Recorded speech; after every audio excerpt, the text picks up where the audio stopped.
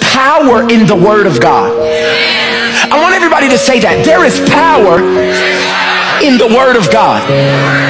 And that's why you need to go there first before you go to anywhere else to find out about how you're supposed to do relationship. I see you clapping, but you didn't read it. Let's be honest. You'll read a Facebook post and an Instagram post before you go to the Word of God about relationships. Okay, I'm, I'm gonna be your friend, okay? You ready? But when God wants to do something, He writes it down for longevity's sake. Can, can I help you understand the power of the written word? See, there's power in the spoken word, but there's longevity in the written word. God builds his kingdom on, everybody say it, principles. And write this point down. The more principles you learn from the word of God, the less you have to pray about what to do.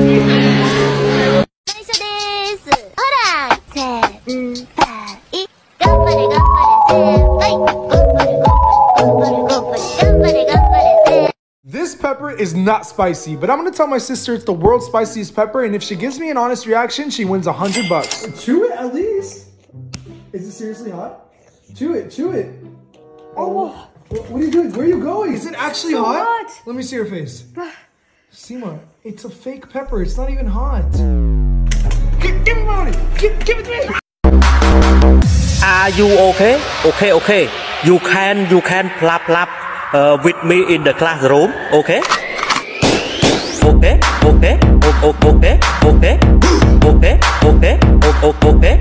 I'm friends with the monster I'm friends with the monster I'm friends with the monster I'm friends with the monster that's in my head. Get along with the voices inside of my